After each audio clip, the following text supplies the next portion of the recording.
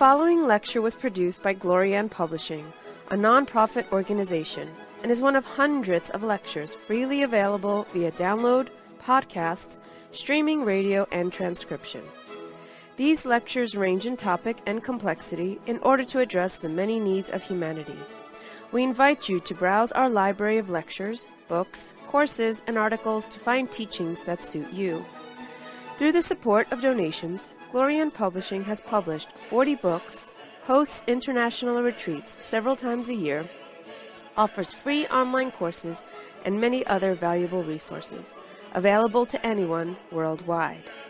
All of this has been made possible by the financial support of listeners like you.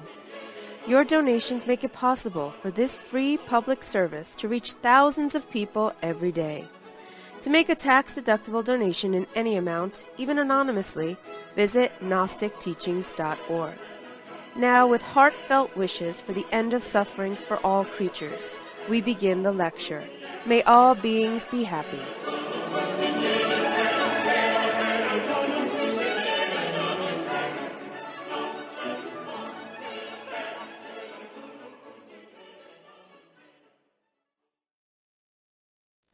In the previous two lectures that we gave about meditation, we set up certain principles in order for us to be able to um, guide ourselves as we develop a strong meditation practice.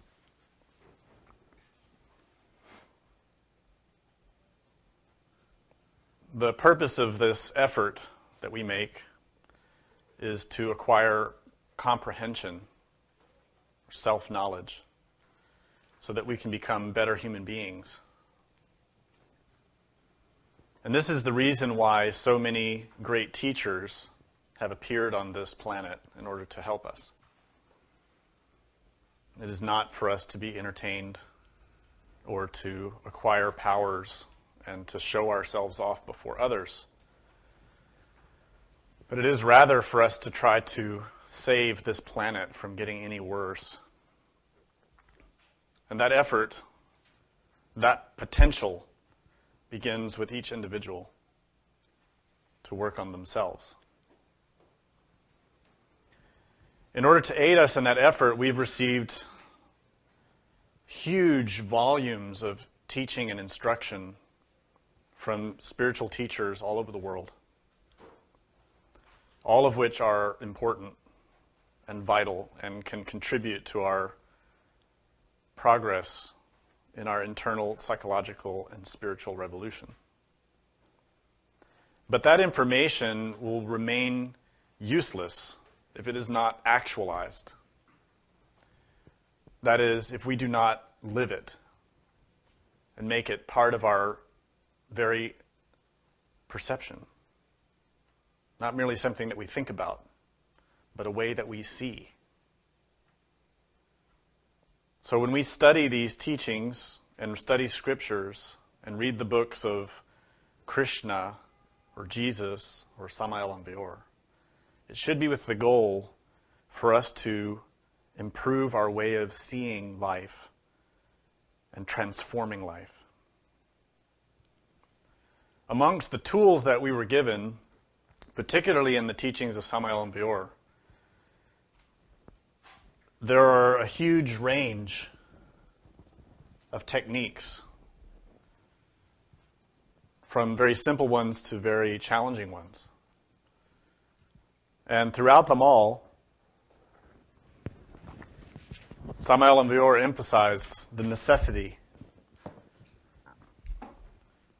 the basic foundation for someone to be a true spiritual aspirant, or what he would call an esotericist or an occultist.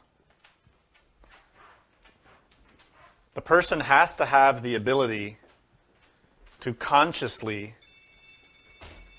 work outside of the body. In other words, to have the consciousness awake while the physical body is asleep so that the soul, the essence, can acquire self knowledge in all the levels of the mind, not merely those that are perceptible from the physical body. And so Samael Weor gave many techniques and a lot of practical guidance for us to develop that skill. And this is one of the main things that attracts students to this teaching. Is that we have such a robust and very practical system that anyone can use in order to awaken their consciousness outside of the physical body. However, in spite of good intentions and even effort, many fail in this endeavor and become frustrated, may even hide it, may even be instructors, or be reputable people in the tradition who yet do not have this capability. And Samael Aun Weor explained why. It's because they do not know how to meditate. It's because their mind is unstable, out of control. So, the prerequisite to be a true magician or a true priest and have your consciousness awake outside of the body is to be able to control your mind, to be able to meditate, to be able to comprehend. Even in this endeavor, many fail for lack of instruction, or for not understanding the instruction, or for not trying. Many reasons. Many try seriously to meditate, but fail to acquire mastery or even the experience of samadhi, which is ecstasy, experiences with the divine. And this also is a cause for frustration and causes many to abandon their spiritual work or to begin to attack those who were trying to help them. Many abandon their schools or traditions because they fail to actualize the practice in themselves. Why? In some cases, we can say it's a lack of effort. In some cases, we see people who make enormous effort and yet still fail to have those fundamental experiences, even to fail to reach quietude or a silence of mind. A great friend of Samael Weor explained why this happens. His name's Swami Shivananda. He explained that people who fail in meditation, who fail even to have quietude, fail because they have not been trained in ethics. And his quote actually says this Some foolish, impatient students take to concentration practice. This is preliminary concentration, not real meditation yet. Without in any manner undergoing any preliminary training in ethics. This is a serious blunder, he says. Ethical perfection is a matter of paramount importance. Shivananda also said, concentration without purity of mind is of no avail. There are some occultists who have concentration, but they do not have good character. And this is the reason why they do not make any progress in the spiritual line.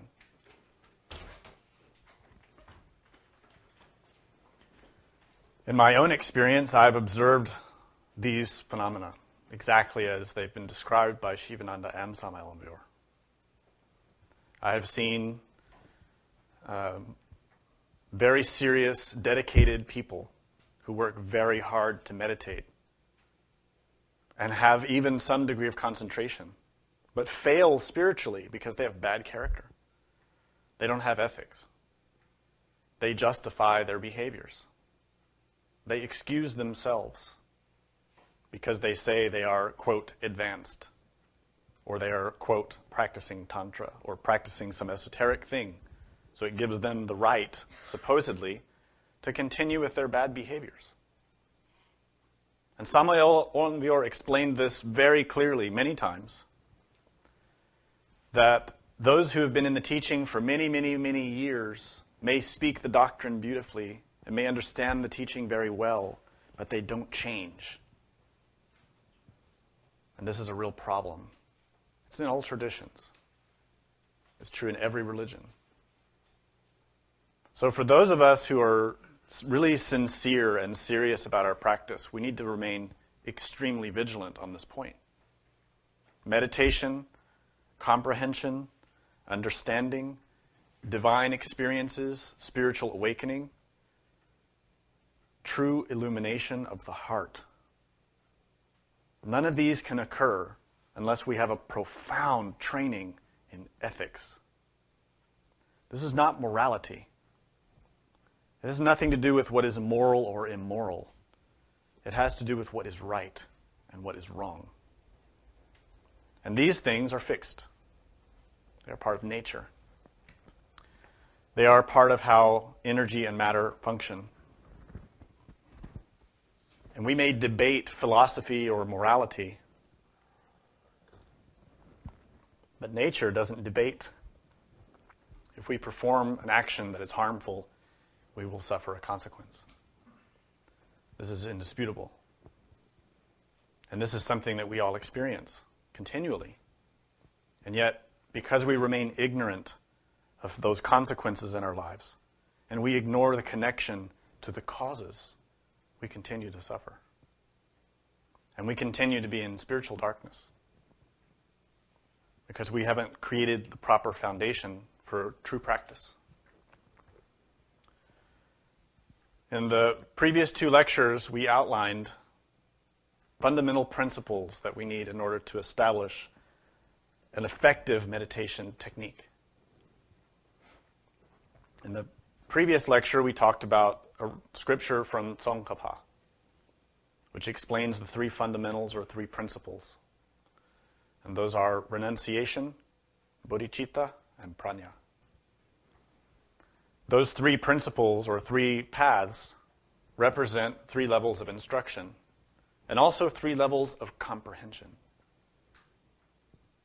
For all of us who are mere beginners, we start with the first, which is renunciation.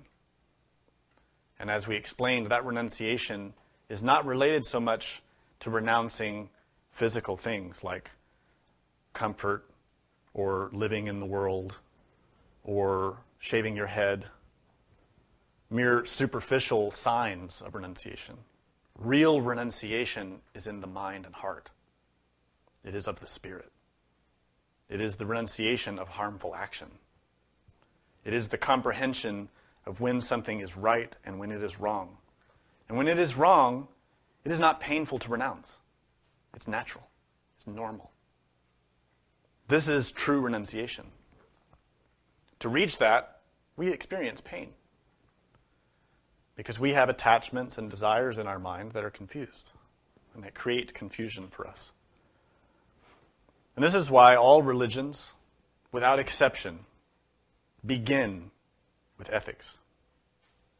Every religion in the world begins with its catechism or its first instruction that it applies to all those who enter into it.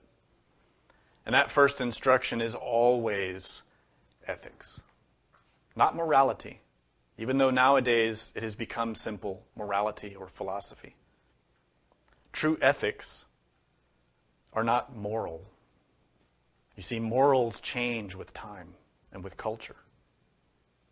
Things that are moral in, the North, in North America are immoral in Asia. And things that are moral in Asia are immoral in the West. And thus, morality is subjective.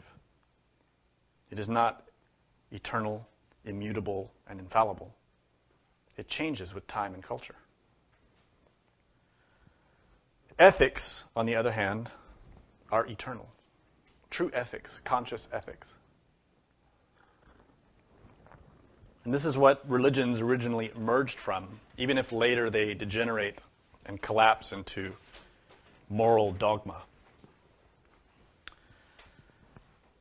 In the West, in the Judeo Christian tradition, we have ethics synthesized in what we know of as the Decalogue, or the Ten Commandments.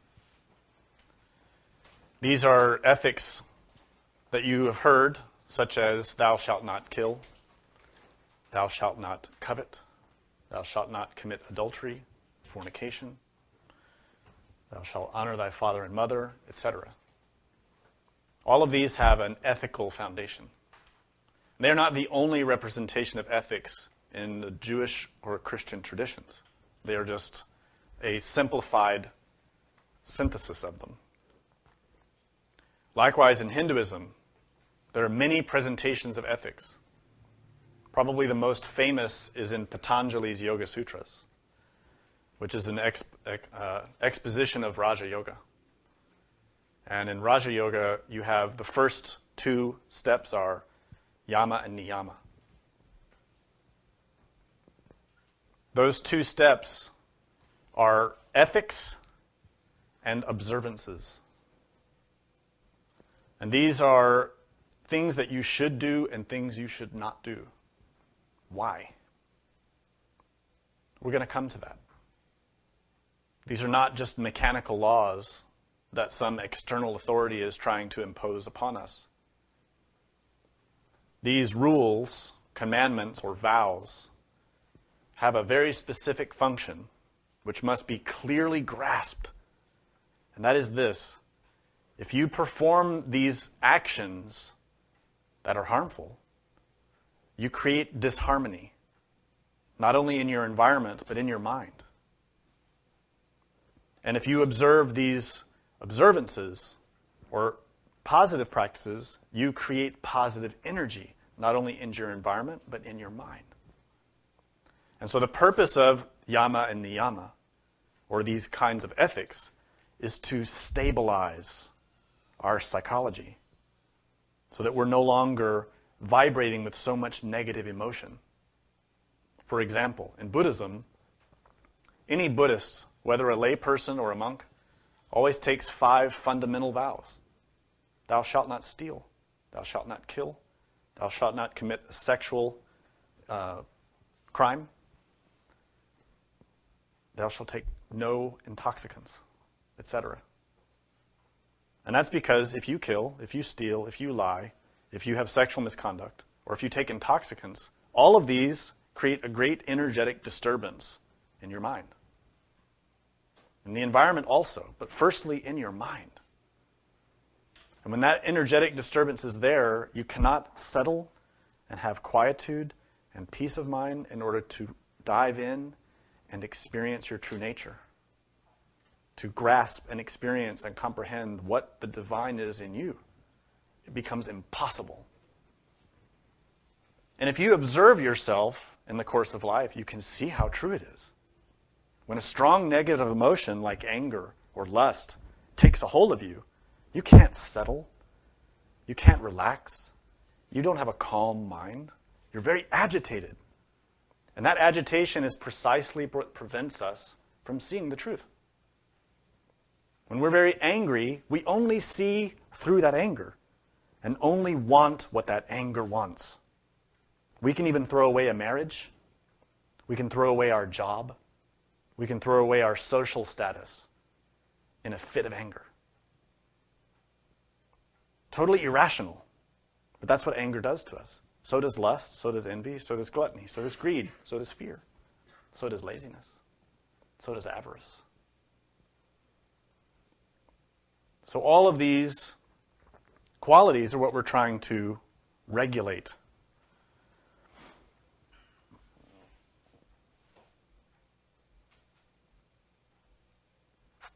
There's a great quote from a Buddhist scripture that describes a conversation between Buddha Shakyamuni and the king of the Nagas. A Naga is a serpent being. In the West, we might laugh about this but it's a race of, of humanoids or, or creatures, rather, who are intelligent like us, but it's a different race. They, are, they exist on this planet. And they can sometimes appear physically, both as people and in their original form, but they're rarely seen nowadays. Anyhow, the king of the Nagas came to the Buddha and this, this quote, this scripture relates this story. It says, Lord of Nagas, a single practice of the bodhisattvas correctly stops rebirth in the lower realms. What is this single practice? It is the discernment of what is virtuous. You must think Am I being true? How am I spending the day and the night? That single perspective or point of view can take you all the way on the path. Am I being true? Well, pose that question when you're tempted by lust, when you're tempted by pride or fear. Am I being true? Who is that I, first of all? And what does it mean to be true? True to your being, true to your innermost. So, what this question underlines for us is that the beginning of our spiritual work and the ending of our spiritual work are the same. Throughout our entire spiritual path, we have to be inquiring into ourselves Am I being true?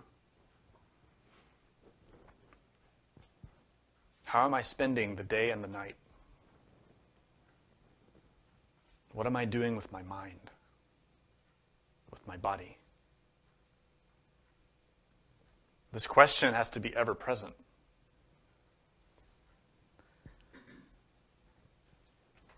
In order for the question to bear fruit, though, we need to have a good understanding of these fundamental aspects of the path. We need to know how to answer the question Am I being true? Who am I? We have to be able to answer that. And true to what?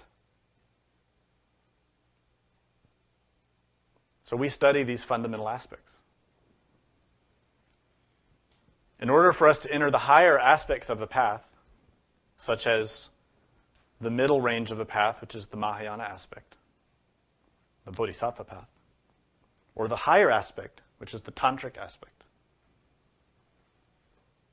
To enter those, we have to have that foundation first. And to have that foundation, we need to comprehend two primary aspects death and karma. We've already explained in the previous lectures that none of us comprehend either one. And this is proven and easy to see.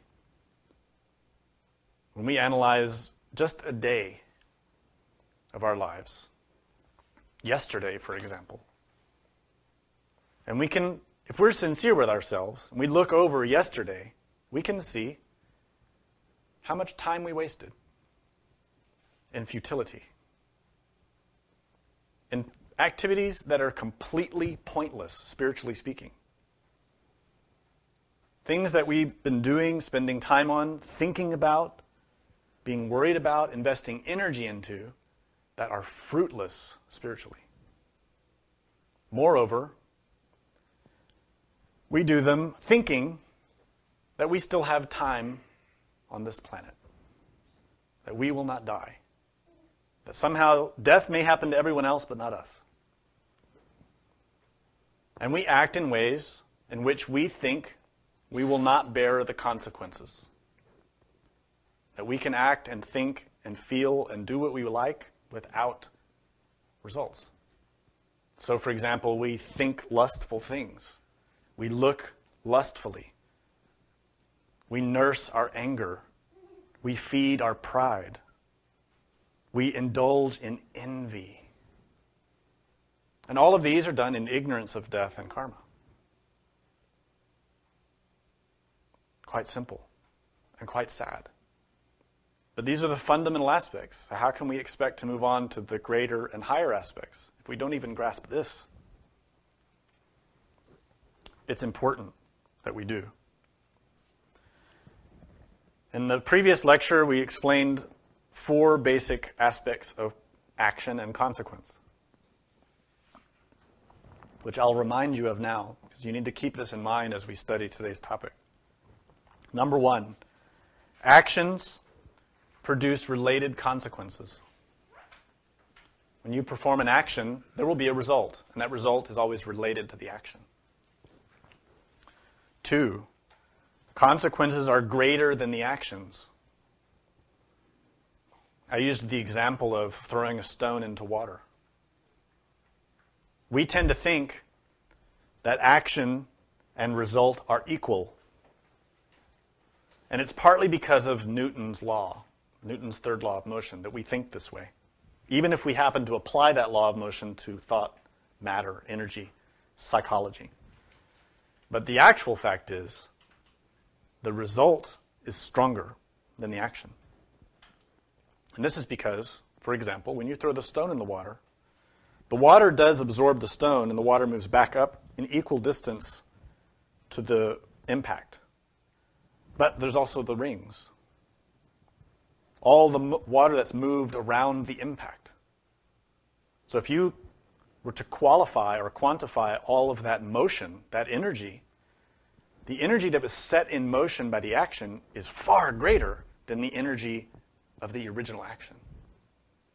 And it's the same true when you speak a lie.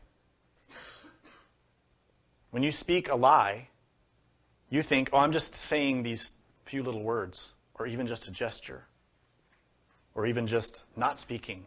Seems like a small action, but it not only affects you, but everyone else involved in the situation about which you lie. There might be two or three, there might be a hundred, there might be a thousand. How do you know? So the action is one level of energy, but the result is always greater, even if we can't see it. Third, you cannot receive the consequence without committing its corresponding action. And this is also quite simple. We reap what we sow. If you have not committed the action that causes cancer, you will not have cancer. Nature doesn't function like that.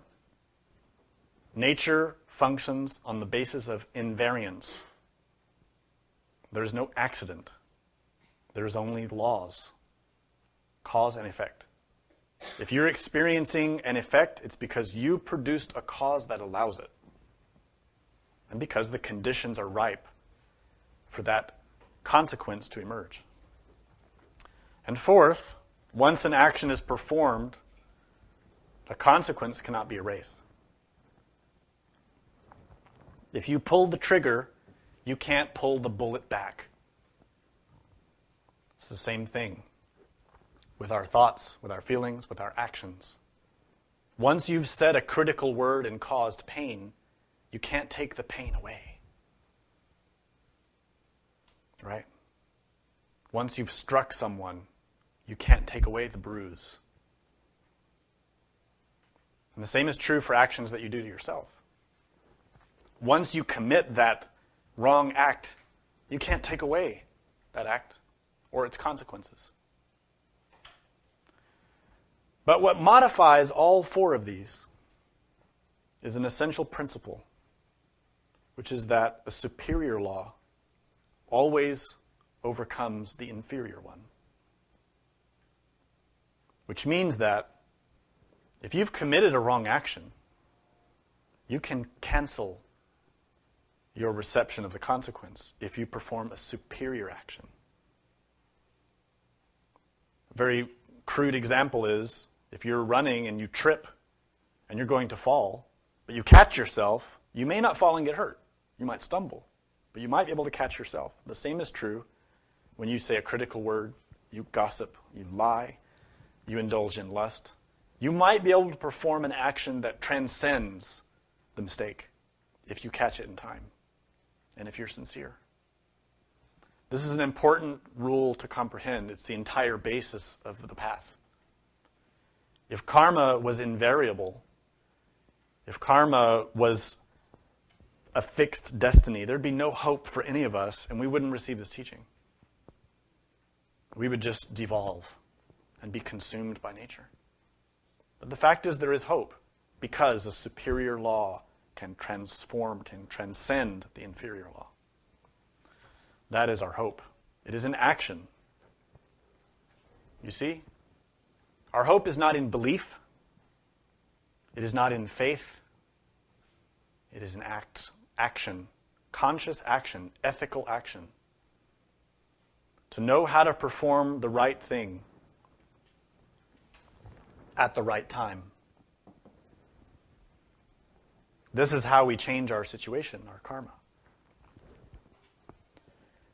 In our tradition, in keeping with Western esotericism, we tend to talk about seven capital sins or seven defects. And these are the negative aspect or the polarized aspect of seven virtues. And these are qualities of spirit, qualities of pure mind. So in these lectures, we always talk about laziness. Laziness is a defect. It is a sin, if you want to use that word. And its opposite is diligence, conscious action. This is what we're talking about today diligence.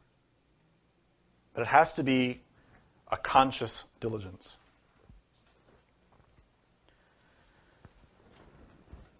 In context of the last two lectures that we've given, which were based in the teachings of Buddhism, we're going to look a little bit at ethics in the same perspective. The Buddha taught that there are 10 non virtuous actions. This doesn't mean that these 10 non virtuous actions are the only wrong actions. Okay? So, for example, in this list of 10, he doesn't mention taking drugs or drinking alcohol or beating your children. These are still wrong. They're still harmful.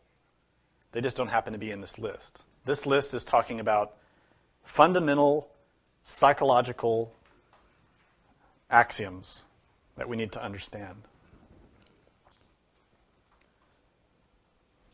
The first three are considered to be actions of body. Buddhism tends to look at the potentials for karma as emerging in three ways physically, verbally, or mentally. So in Buddhism, you always hear body, speech, and mind. These are three doorways through which we utilize energy. But again, don't think that these are the only ways to create karma. This is just a model to help you get on your way towards analyzing yourself. But these don't include everything. As a matter of fact, these 10 non virtues are generally studied after someone has already taken other vows, such as, thou shalt not kill, don't steal, don't lie, don't have sexual misconduct, don't take intoxicants, etc. So these 10 non virtuous actions come after that. So the first is called killing. The first non virtuous act in Buddhism. We tend to interpret this as the act of murder, which of course creates a lot of harm. To kill is a grave crime. And this is why it's punished so severely in all traditions. But we have to remember something. We can kill with a word. We can kill with silence. Because we can kill not merely the body, but the spirit. We can kill someone's mind. We can kill someone's heart. Killing is not merely the physical act. To kill is to take someone's life, to take the life of another being. In the scriptures, it's stated that this is a right reserved only for God. And depending on the religion or tradition you study, that right may be further elaborated. For example, there are what we call angels of death, devas or Buddhas, who are responsible for ending life. In this case, it's not a crime, it's their job, it's their duty. and it's performed with love. Likewise, there are cosmic executioners whose job is to kill as punishment, as compassion. Killing is the domain of Geburah in the Tree of Life. Geburah is the Sephirah of justice, and it is ruled by the angel Samael. And this is why the Zohar says that Samael is the angel of killing. Samael has a sword and has the right to kill in accordance with karma, in accordance with the law. Likewise, there are great masters, great teachers, great illuminated prophets who acquire this right. David, Solomon, Padmasambhava, Quetzalcoatl, others, who, in accordance with the law, in accordance with karma, were able to kill without accruing any debt. We're not there. We don't have that right. But what's interesting is we think we do. Now, most people who hear this topic look at themselves and say, Well, I've never killed anyone, so this doesn't apply to me. I'm sorry, but it does. Our society is as it is because of who we are as individuals. Which civilization, which country on this planet is responsible for more wars and more killing? Which civilization, which country on this planet is spending the most money developing and perfecting the art of killing? The United States. The vast majority of the money that comes out of the United States is spent on the act and the art of killing. Why? We have a lot of reasons, a lot of justifications. Some may be good, some may be not. But it is an undeniable truth. And all of us are part of that whether through active participation or through apathy. We contribute. None of us are innocent. Moreover, many of us are being trained daily in the art of killing. Do you watch television? Why is it that most TV shows for the last few decades are all about the art of killing. How to murder and get away with it or not get away with it. Celebrating criminals, murderers, serial rapists, gangsters, war. And all of us indulge in these movies and TV shows and think it's just entertainment without realizing that all that information is going into the brain and is teaching us. Is this what we need to learn? What will be the consequences of a society that loves to learn about death and killing? How many creative ways there are to inflict harm on one another? What are the consequences of that? What are the results of that? Cause and effect. If you teach generation after generation of children how to use weapons, how to handle guns, how to shoot, how to stab. What will be the result? Peace? Serenity? A golden age? Or war? What do you think?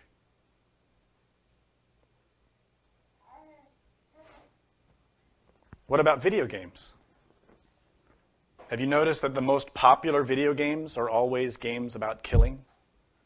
with extreme violence. And all of our children are spending hours and hours and hours teaching themselves how to kill, to enjoy it, to indulge in it. Again, there may not be a physical act, but there is a psychological environment that is being created from this. If we wonder why there's so much violence in the United States, in North America, because of guns, we have to look to ourselves for the cause. If we wonder why there's so much violence in the East, because of guns, the people who live there have to look to themselves, not blame other countries, but look to themselves. Or in Africa, or in Asia.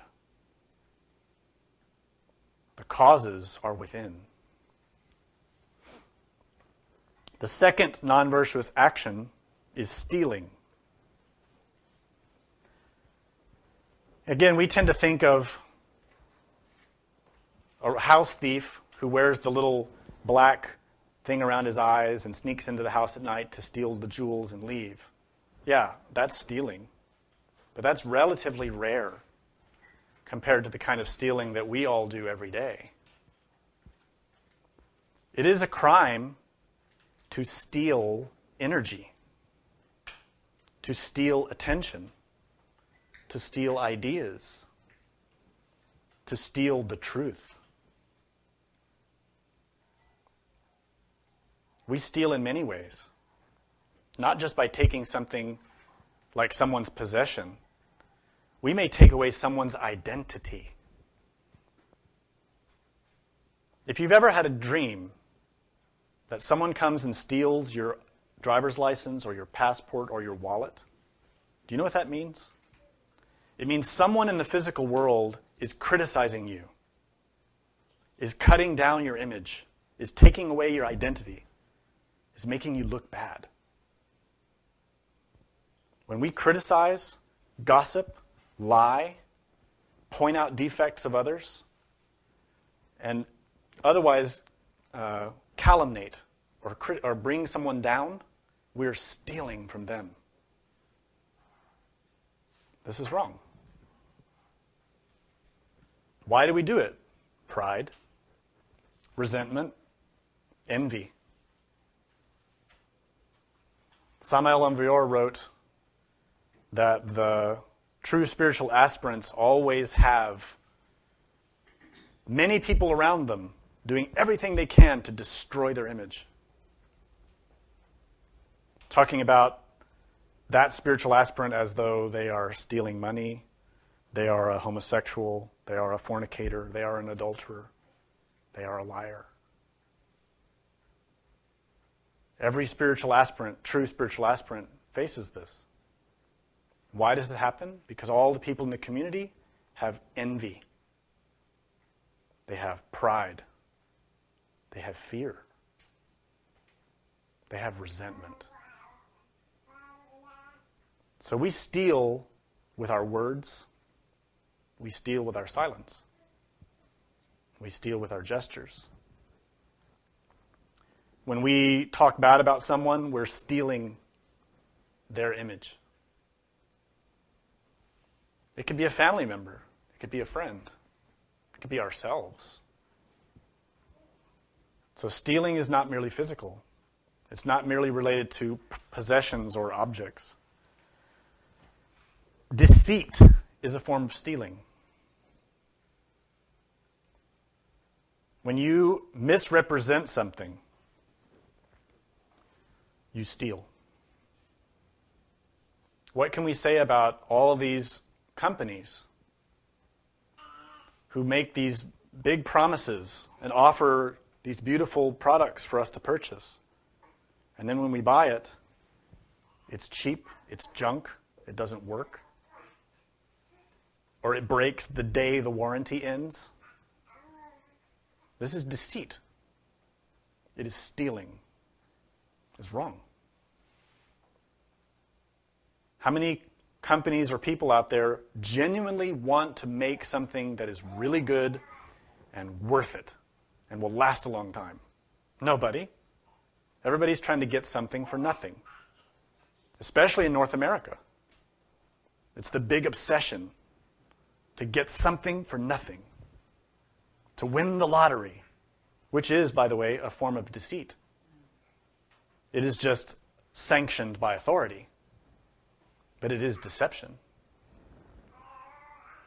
And what can we say of people who are professional deceivers? Who are paid, who make their living to deceive others?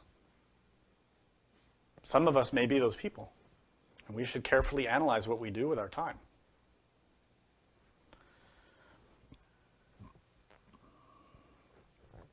The third non virtuous action, which is, again, we're still talking about actions primarily related with the body, is sexual misconduct.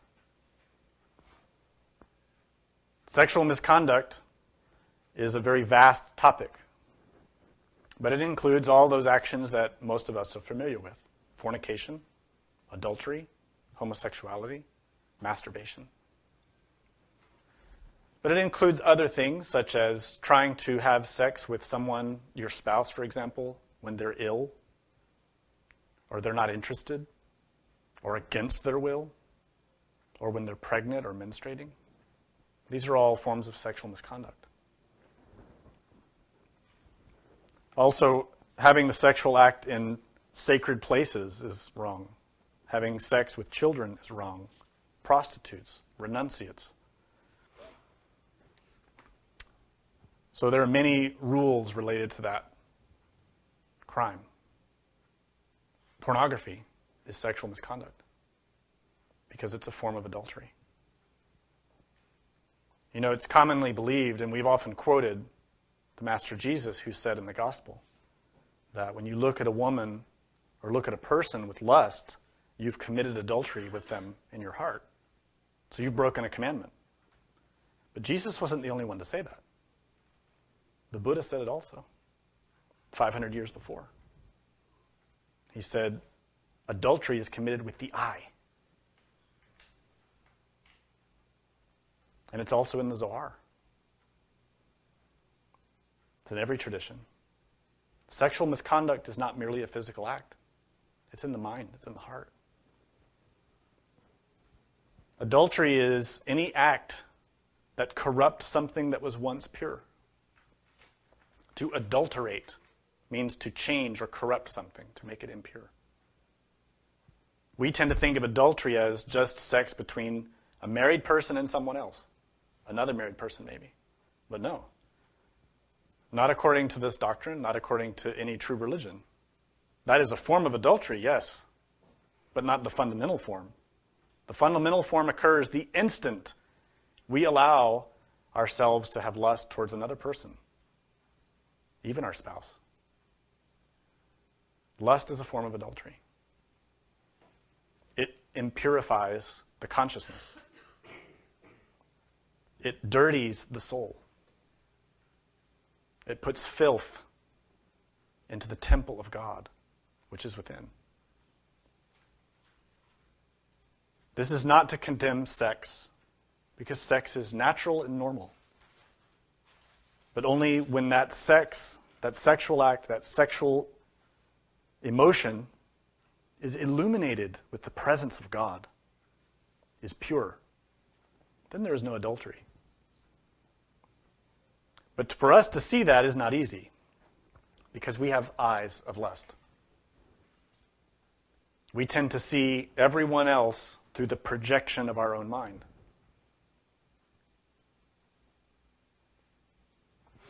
So that's a very long topic. We could spend several lectures just on that, but I need to move ahead. So the fourth non virtuous action is lying.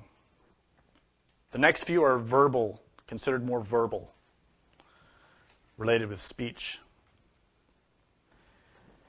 lying, to lie.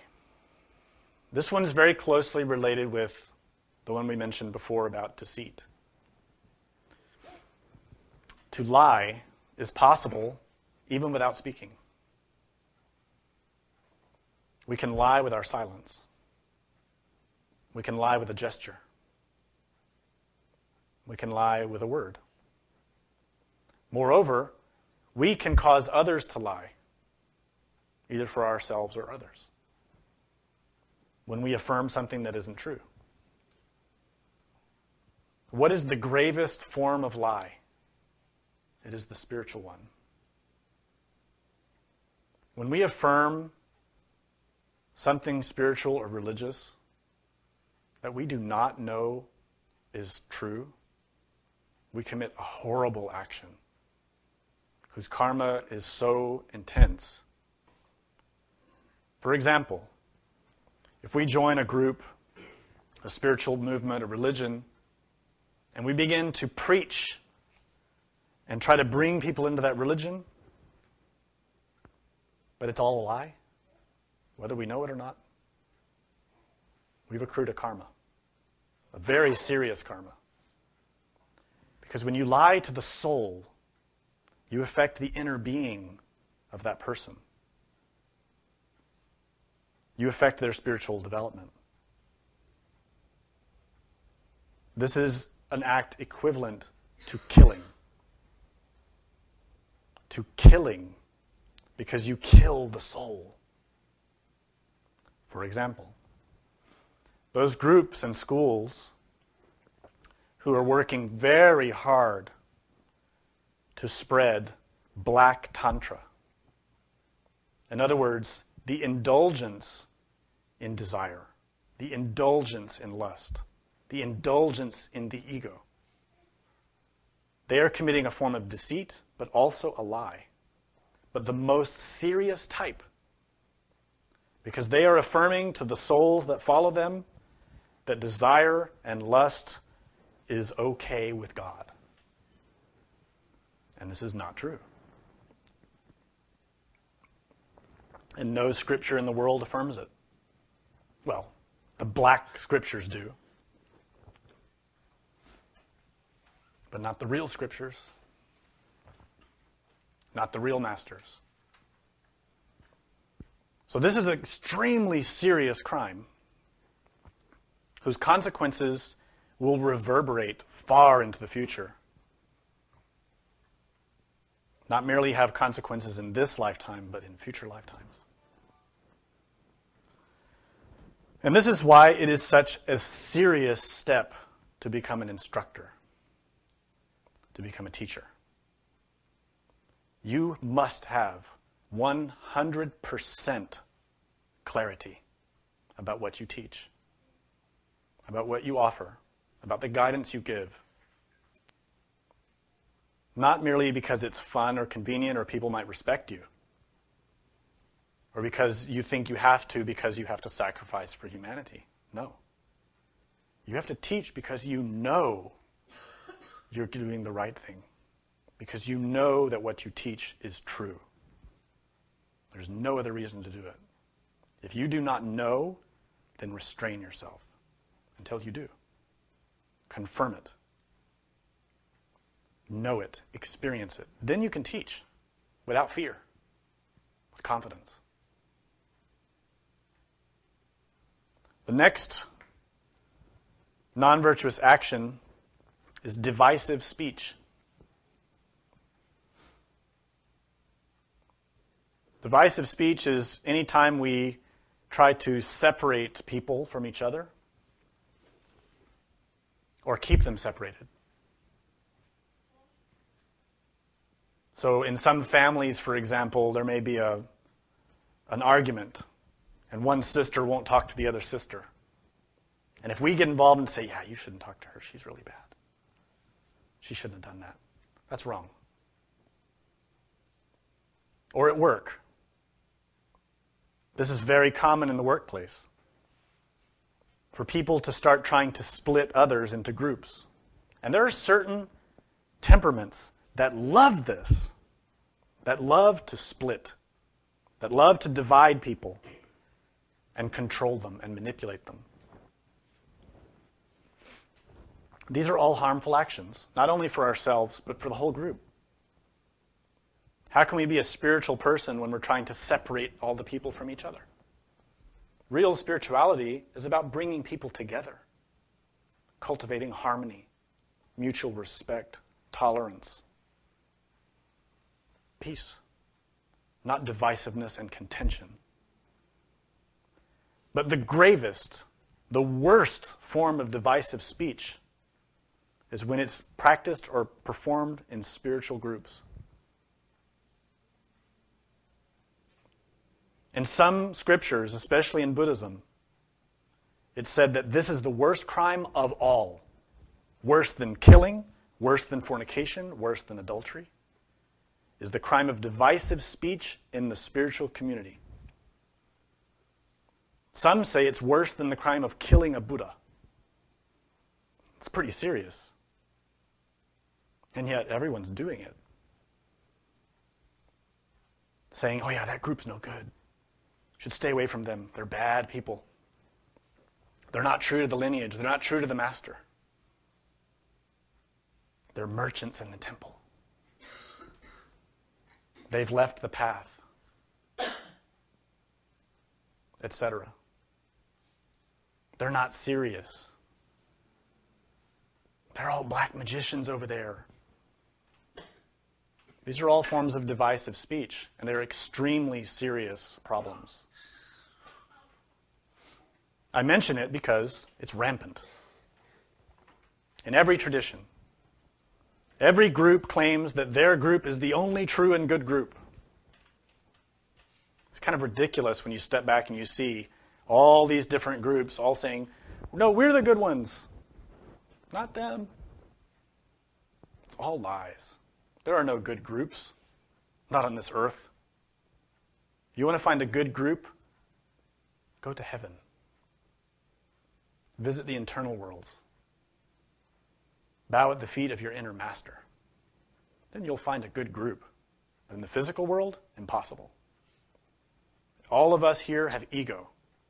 All of us here are liars and cheats and adulterers and murderers and fornicators, without exception. And everyone who says otherwise is a liar. These so called leaders who claim to be illuminated ones or incarnations of Master so and so, they're liars. The only master we need to follow is within. The only group we really need is within. So, divisive speech is a, is a major crime because it separates the Sangha, the spiritual community. It empowers the ego. When groups are divisive and split and separated into many different small factions and not united, they are weak. How can they fight if they are weak? How can they work for humanity if they are all separated and fighting with each other because of politics, gossip, and rumors and pride? They can't. This is a problem that Paul wrote about in the years after Jesus. It was a problem then, it's a problem now. Gossip, rumors, pride, divisive speech. All of this interrupts the efforts of Christ to help us. The sixth is offensive speech. Offensive speech encompasses a wide variety of things speaking critically of others, condemning others, attacking others, even attacking ourselves can be offensive when our hostility and our malice and our anger is coming out through our words, whether written or spoken, or even in our silence, it is offensive speech. I once visited a Gnostic instructor's home with a group of other people, and we were all having a very pleasant conversation when suddenly the wife of the instructor came in the room, and the whole tone of the room changed.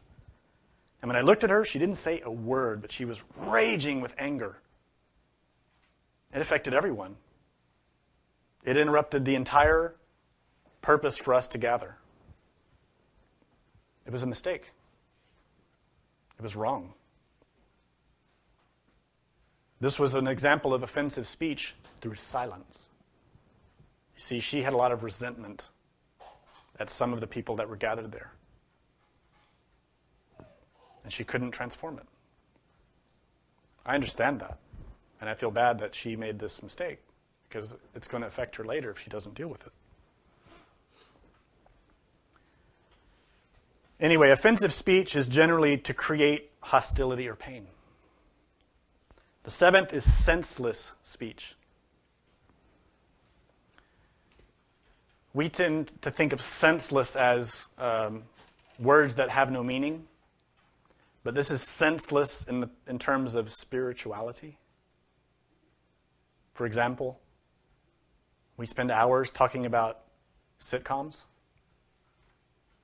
or about celebrities, about what so and so is doing, and now they're divorced and they've got kids, and what are they going to do? And oh my God, that's senseless. Reading those magazines, the gossip magazines, is senseless speech. You don't have to speak it, you can indulge in it. It's senseless spiritually, and it creates harm. Talking about all kinds of things that are a waste of time is senseless speech. Gossip is senseless speech. Oh, did you hear that story? Did you hear what such and such person did?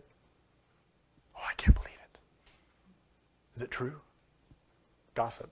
Senseless. Harmful. It's wrong. Swami Shivananda has a very colorful phrase to describe this harmful action. He calls it diarrhea of the tongue. It's kind of gross, but it's accurate.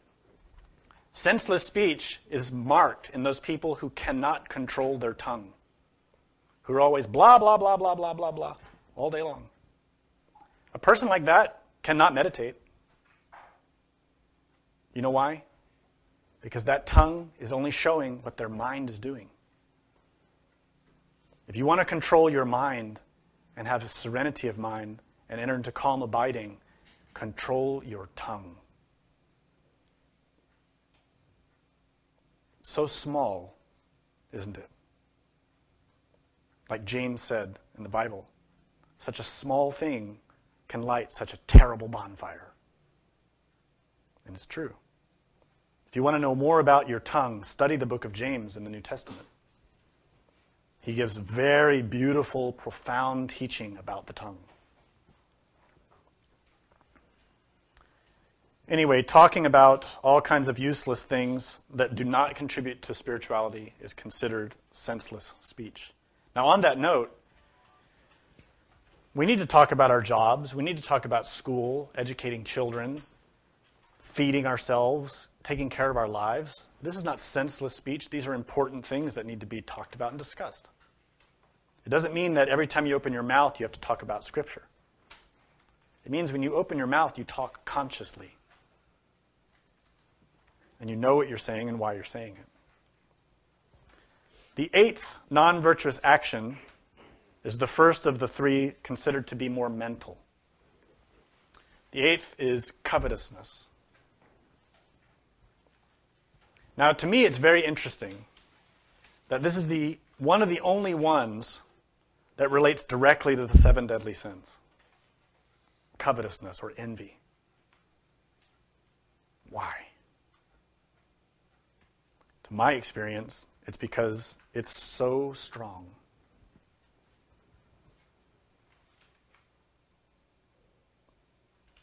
Samael Aun said that envy is the secret trigger of all action in the world.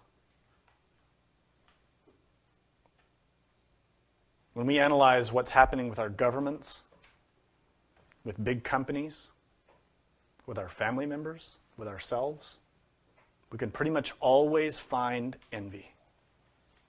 What is envy? It's wanting what someone else has.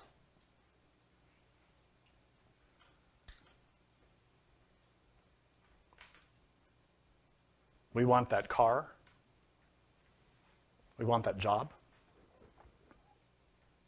One country wants the resources of another, wants the respect of another.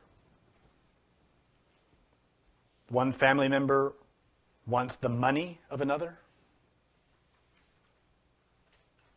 the love that another one gets.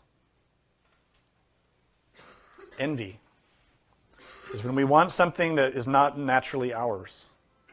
Envy always says, I want it.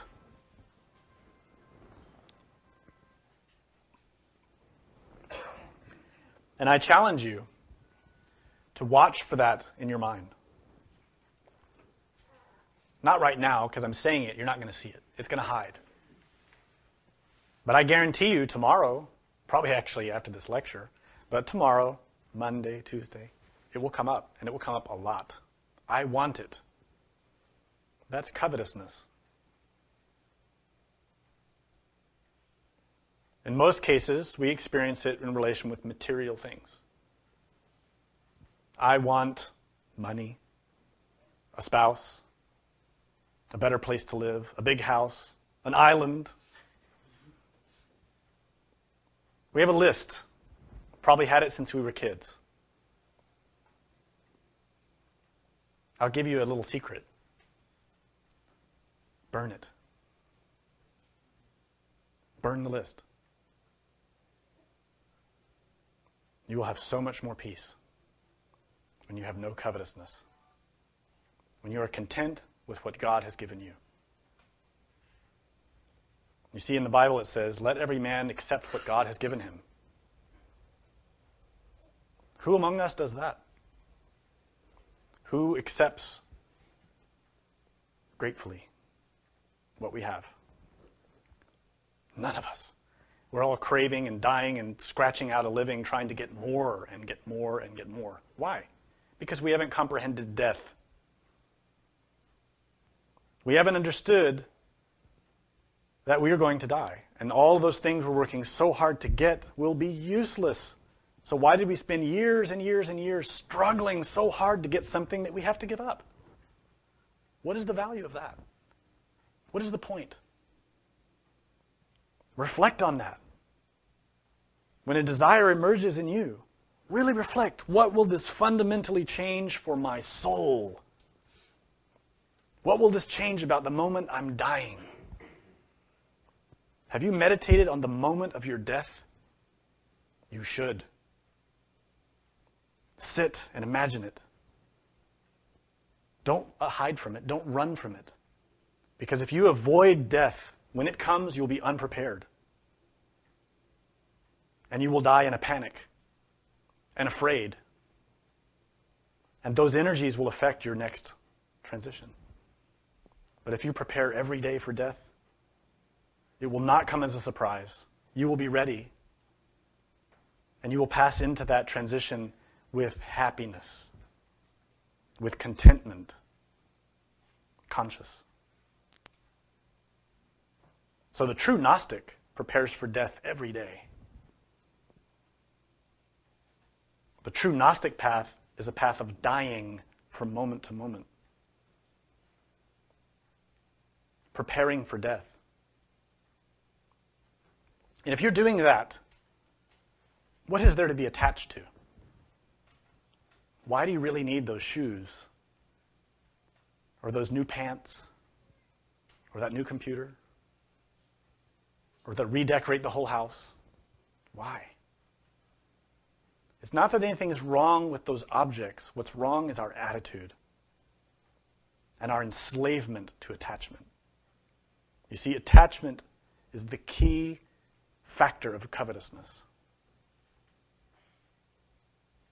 The state of our world is because of this factor. Yeah, we have killing, we have lying, we have deceit, we have divisive speech. We have all those things. But the key to suffering on this planet is covetousness. No one is content with what they have, and they want what the neighbor has. So we go and we kill our neighbor, we lie about our neighbor, we deceive our neighbor, we go to war. Covetousness, attachment.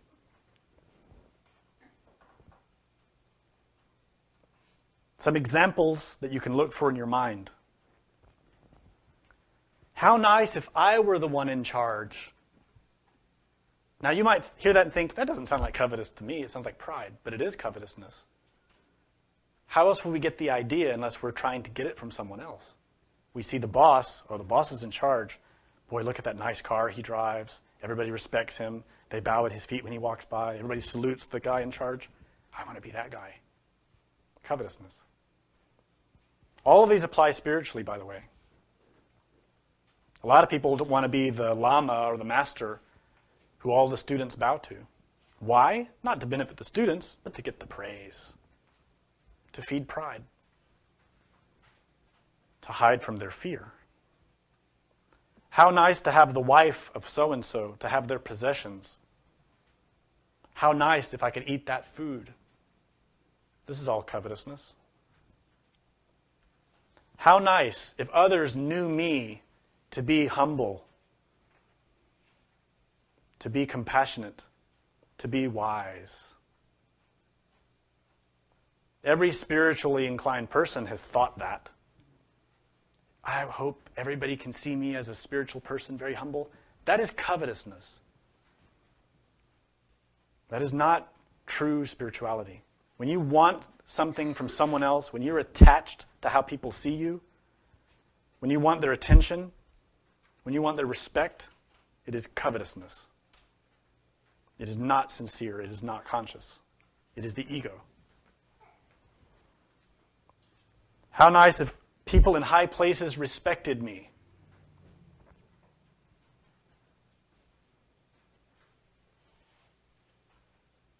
So, some of those people who think this, if everybody respected me, boy, even celebrities would respect me, even politicians would respect me. Covetousness. How nice if I could be reborn in nirvana with powers, with servants. Covetousness. How nice if I had the ability to go in the astral body. How nice if I was a master of samadhi. Covetousness. We should not covet what we do not have. If you want something different, analyze that want and give it to God. This doesn't mean that you sit back and wait.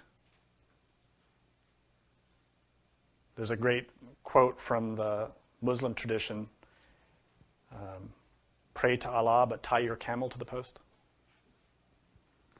But there's another one I like even better. I don't know where it comes from, but pray to catch the bus, but run like hell. Right? We have to give up these desires. We have to analyze our wants, but we also have to work for what's right. Some people always say, well, if I accept what God has given me, does that mean I don't have to work? Does that mean I should quit my job? If, I don't, if I'm not supposed to worry about my clothes and paying my bills and eating, should I just stop doing anything? No, because if you don't do anything, you will starve. You have to work. You have to act. You have to be prudent. You have to be intelligent.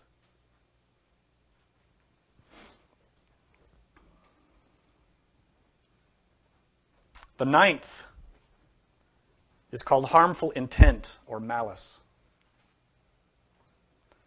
This is any desire or any thought or action directed towards causing harm for others, wishing others to suffer. Imagining your enemies suffering. Imagining your boss getting fired. Imagining your spouse getting a divorce and being miserable because you left her or him. Imagining your parents suffering in loneliness because of your resentment to them. Imagining your friends missing you because you won't call them back. Imagining your coworkers confused because you won't speak with them. These are all malice. They are the intent to harm. Any attitude of hostility is malice. So, New Yorkers have a problem.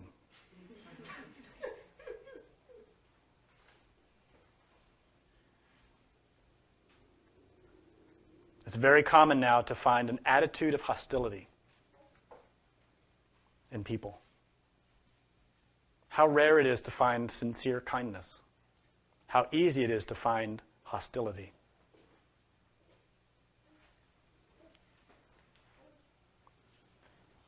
Impatience with others is a form of hostility, malice.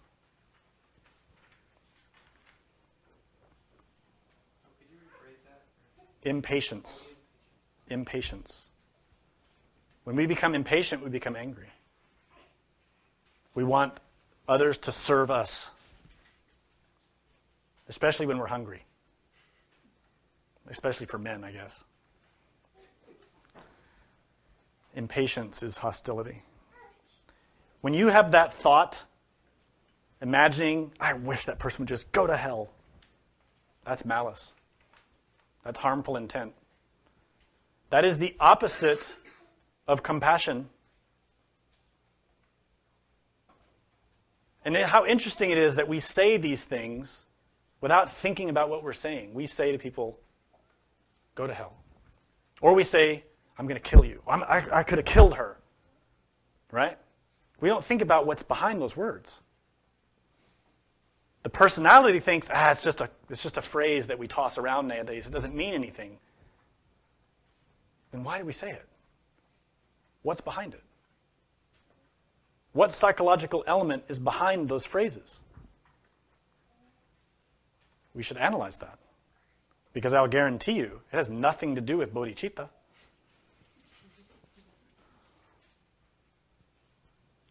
The tenth is wrong views.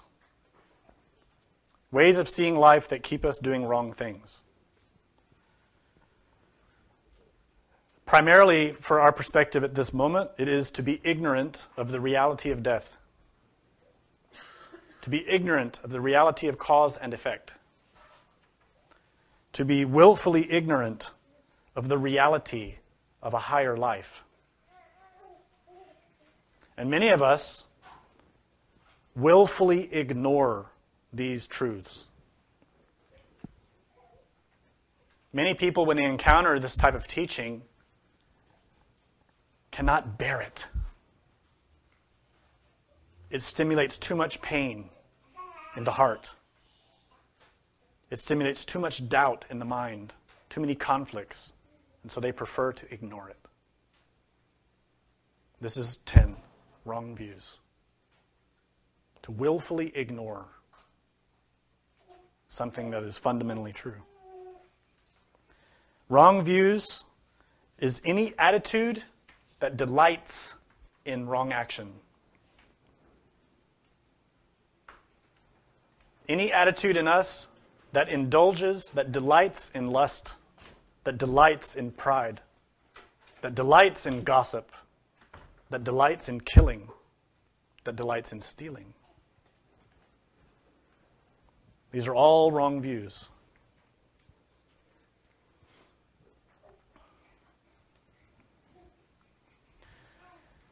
In each one of these ten,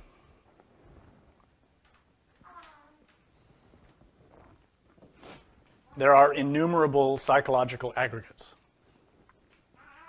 that we have within ourselves. It's our duty to discover them, to analyze them and to stop acting on them. I'll read you now a few effects that these aggregates in our mind have. You see, when we perform actions, we set in motion a stream of energy.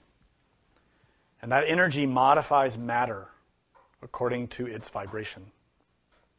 So when we feel anger, and we express that anger, even if it's not outside, but it's in the mind, that energy affects matter. Matter and energy cannot be separated. Remember that. This is even Einstein said that. That energy exists. Maybe not physical, but it exists in the mind stream. So when that anger is projected, it has an interrelationship with matter. It may not manifest now, but it must conclude itself. It is a law of nature called invariance. Any energy that's projected must be satisfied, must be brought back to balance, including psychological energies. Therefore, this is the basis for why we are reborn continually. From moment to moment, we're setting in motion a lot of energies.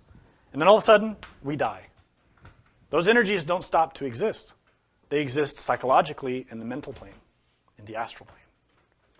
Those energies are what push the trapped soul inside of them to be born again so those energies can manifest and satisfy themselves in variance. This is why we keep being born. This is why we keep suffering. This is the wheel of samsara. This is the wheel of life, which the Buddhists illustrate. This wheel of 12 nidanas. And it's also in the centermost part of the wheel that shows the cycle of birth.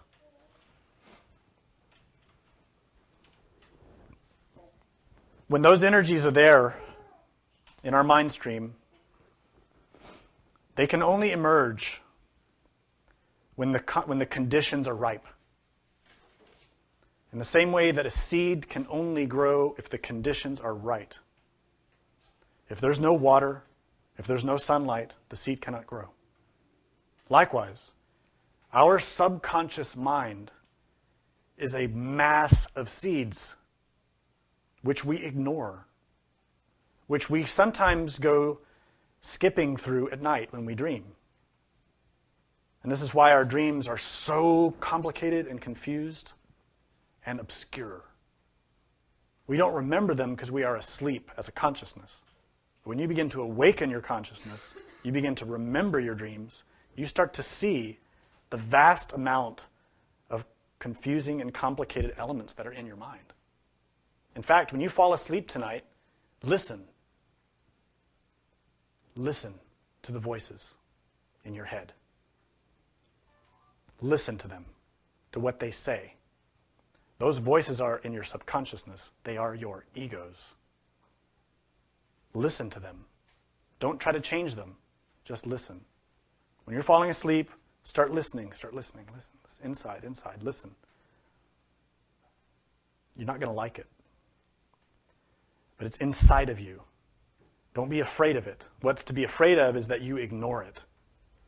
And that what's in you is being ignored. You need to learn about it and get in there and see it for what it is. All of those egos, those aggregates in the mind, are waiting for the conditions to be right for them to act.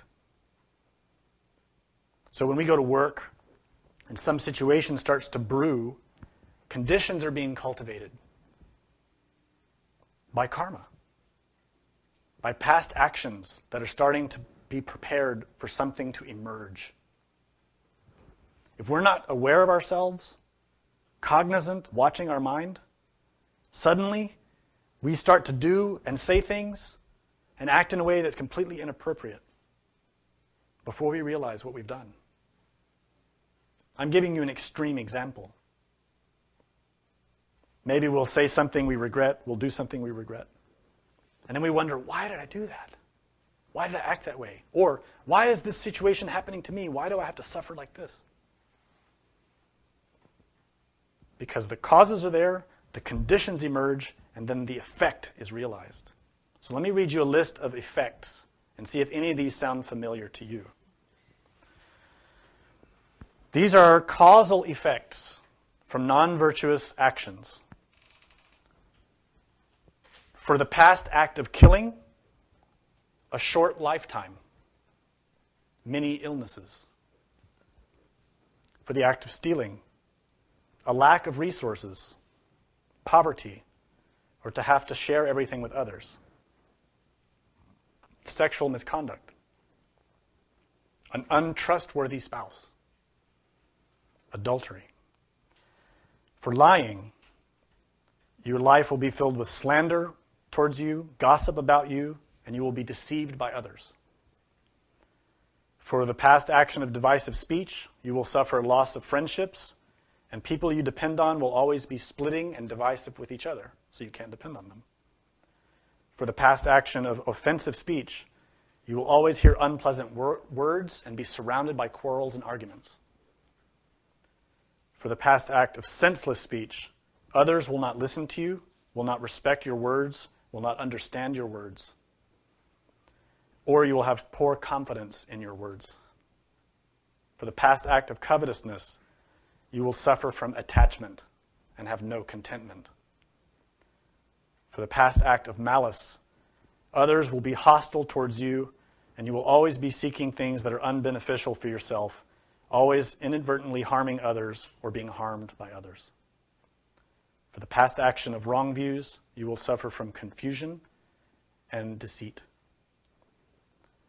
Environmental effects are more um, widespread and in your environment. For the act of killing, you will have poor or little food, poor or ineffective medicine, and the harvests and other uh, resources that you bring will have little strength or will even produce illness. For the past act of stealing, you will also have poor crops, poor food, droughts, floods, spoiled foods, poisoned foods. I'm sorry, but all of that sounds like where I live. All of that sounds like this country. It sounds like every country I've been to. All of these things. For the past crime of sexual misconduct, you will live in filthy places. There will be excrement, urine, mud, vomit everywhere on the streets. You will have unclean things, bad smell, smells, misery, and discomfort everywhere. For the past crime of lying, your work does not flourish. There's no harmony in workers. Everyone is deceitful. You will be fearful and have many causes to be afraid. For the past act of divisive speech, you will live in a place that's difficult to get around and have many causes for fear. Offensive speech, a dangerous environment, and no comforts, such as parks or pools or safe places. For the past act of covetousness, all good things diminish every year and do not increase. And for malice, You'll be surrounded by epidemics, injury, infectious diseases, quarrels, disputes, harmful animals, thieves. And wrong views. The most important resources will be unavailable or too expensive. Unclean things are plentiful. Misery appears to be bliss. You will have no home, no protector, and no refuge. To me, that is a description of our planet. I cannot name a single place that is free from those qualities. And I don't know a single person who's free from them, as far as someone who's living in this world. So, based on that, you can understand if these are our circumstances, how can we meditate? How can we have serenity of mind? How can we have calm abiding, pratyahara? This is why we need to abandon these unvirtuous actions. When we abandon these unvirtuous actions and we begin to perform conscious, upright action, we change the circumstances. Let me explain this very carefully. When you perform upright action, that is, you begin to restrain your tendency to gossip, to spread divisive speech, to kill with your words, to have covetousness, to lie, to deceive. When you begin to restrain those things and to act consciously in your life, those energies can no longer affect your mind or your environment. So, what happens? Naturally, your mind begins to calm down. Your environment could be chaotic. You could live in a big city or in a workplace that's very stressful. But by restraining the mind, the mind becomes calm. The first benefit is you have that serenity, which begins to emerge, which makes meditation a real possibility. The second benefit is you've stopped allowing the conditions to exist for your past karmas to emerge. This is so profound that I could just repeat it again and again. And I say it that way because I've had personal, dear friends of mine who never grasped it, who just felt they can continue to smoke, to drink, to look lustfully at others, to boast about their attainments, and think that they're going to get somewhere spiritually. And they use vulgar words. They curse, they say bad words, they talk bad about others. And some of them are instructors in this tradition. And they think that somehow, being that way, they can continue on the path. And they wonder why they're frustrated. They wonder. When you restrain those behaviors, it's not just a game, it's not just for beginners. It's so that the environment, internal and external, is calmed. It's so that those latent propensities of the psychological aggregates in our mind cannot emerge. They cannot come out if the environment is not conducive. So, for example, if you restrain your tendency to talk bad about others, to criticize others, and a situation comes up when you really could do it, you really got something on this guy, and you could crucify him with a word, but you don't. What happens? The karma that was driving that urge cannot come out. It can't emerge and destroy your life. You've restrained it. Now, the next step is you have to meditate on that urge and eliminate that karma, because if you don't, it'll come back later. If you just repress it, it'll come back later stronger, because that repression strengthens it. So that's why this is the path of the razor's edge. Is a very delicate psychological balance. It isn't tomorrow, it's every moment. Because in every moment, your mind is a surging sea of these tendencies that want to come out. This is why we have to understand this scriptural quote. This is from a sutra from Buddhism. It says, If you fear suffering and do not enjoy it, do not commit sinful action, either in public or in private. Whether you have committed sinful actions or are committing them, you will not escape suffering even if you try to run away. No matter where you stay, there is no place that karma has not created, neither in the sky nor in the ocean, nor even a place in the mountains. You cannot run from karma. You cannot run from the consequences of what you've already done or you're doing now. What you can do is change what you're doing now and create an environment psychologically within which meditation becomes easy. You see, when your mind is surging with lust, with pride, with fear, your mind is disabled. It's out of equilibrium. It's chaotic. You cannot meditate. You probably can't even sleep. You have tension all over your body.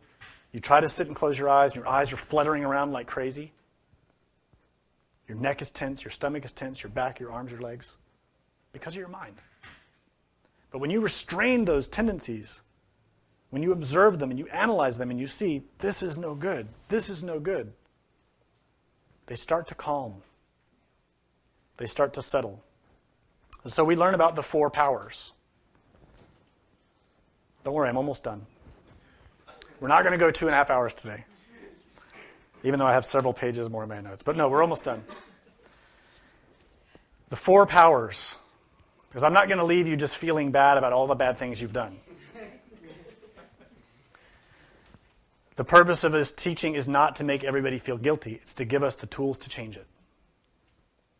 This is the, this is the tool right here. In Buddhism, they call it the four powers. First is the power of eradication.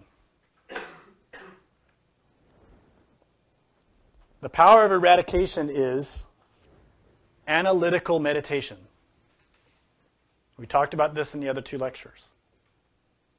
Sit down, analyze it. When you see these disturbing qualities in your mind, tendencies, impulses, analyze that. Analyze it in the light of these basic instructions death and karma. So if you feel that tendency towards lust, you have to meditate. What is this lust? What will I gain if I let it live? If I let it continue in me? What will I benefit? How will it help my soul? Hmm? What will be the consequence if I act on this lust? And then you try the other side analysis. What will be the result if I eliminate it? What will happen to me if I kill that lust, if I remove it? This is not just something to think about right now. This is something you need to apply in yourself continually. Continually. Even while you're walking and doing things. You're sitting at the car at a stoplight and you feel impatience, analyze that impatience. Why should I feel impatient? The light is red.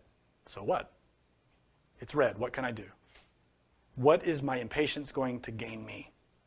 What is my anger going to gain me? However, what will I gain if I eliminate that anger? What will I gain if I stop feeding that anger? Mm.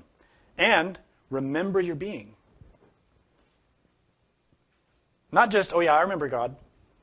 He's out there somewhere. No. Your being is in your heart. Your being is the fire in your atoms.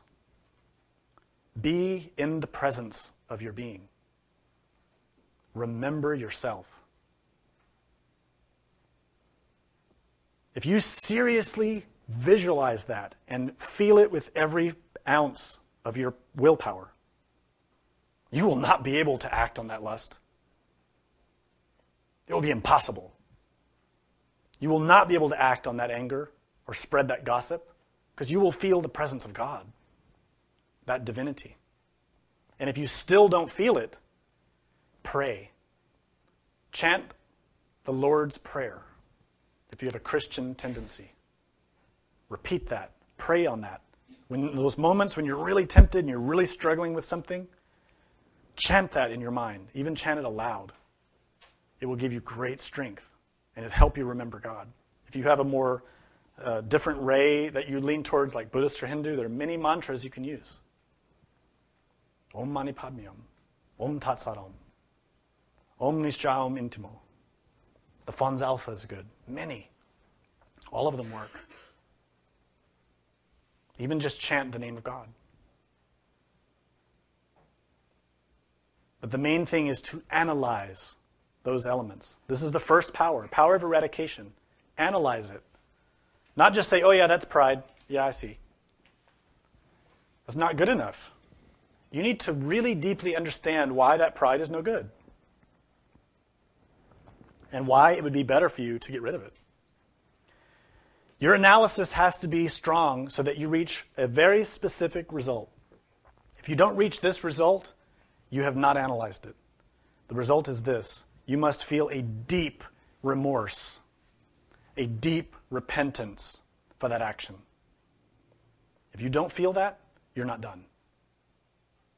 Very simple. If that anger emerges and you feel justified in your anger, you do not understand it. You have not analyzed it. If that lust emerges and you start looking at that person or that pornography with lust, you have not comprehended that lust. You have not analyzed it because you're indulging in that desire. That is a wrong view. It is a view that cultivates suffering. So you have not comprehended. The sign that represents that this first power of eradication is in motion is repentance, sincere, true repentance. So that then, if that anger or that lust emerges and you feel it, you say, No way. You can't even bear the thought or the feeling of the presence of that anger or that lust or that pride. That is true repentance. And that is how the true virtue emerges. People in this tradition talk a lot about transmuting vices into virtues. And Samael Aun Weor was very clear. We have to transform lust into chastity. But that doesn't happen in the mind. It happens in the heart when we've comprehended lust. And when lust comes and we say, No way, I'm not letting that filth into my mind, into my heart, into my marriage, into my temple. That is comprehension. That is chastity. The only thing I want in my temple is love, remembrance of my being, and true, 100% conscious, selfless love for my spouse and for humanity. That's comprehension. The same with anger, the same with envy. When envy comes and we feel like, oh, I really want that car, or I really want that respect, or I really want success, true comprehension says, why? I have my being. I have the Dharma, I have the teaching, I have a chance to stop coming back and suffering like this. What more could I want? Right? I have a physical body, I have the Dharma, I have the teaching, I have my Divine Mother. I don't need anything else. I don't need an iPod. Right? Why do you need these other things when you've got the most precious jewels that exist in the universe? Now you need to use them. The second power is the power of applying remedies. This begins with learning the teaching, studying the teaching, listening to the teaching, meditating on the teaching, comprehending it. Not just memorizing, actualizing it, becoming it. This is like I told you. If you get tempted and you have that lust or desire or envy tempting you very strong, a remedy is say a prayer, say a mantra, analyze. These are remedies. Remember your being. That's a remedy. Use the conjurations, use the prayers. These are remedies. Another remedy is to meditate, to comprehend the essence, the consciousness, so that you see that an ego is not the self. That is a great and very powerful remedy. The third power is the power of turning away from faults. This is to restrain those actions. But for this one to work, you have to have the first one, the power of eradication. You can't turn away from a fault until you've understood that that fault is wrong. You won't turn away from lust as long as you think lust is good and normal and natural. Until you see the painful consequences of lust, until you've comprehended the suffering that lust creates, you won't abandon it. You must comprehend it. You must understand it in order to truly abandon it. The, fir- the fourth is the power of the foundation. This one really synthesizes the other three. And its synthesis is karma. The power of the foundation is knowing cause and effect is real. We don't get that yet because we still persist in wrong actions. But when you've applied the other three powers and you've really started to see how eradicating a power, applying remedies, and um, turning away from those faults produces a strong effect, then you will have confirmed the truth of karma, cause and effect. And that gives you a rock solid foundation to continue on the path. Without that conviction and the power of karma, you will fall.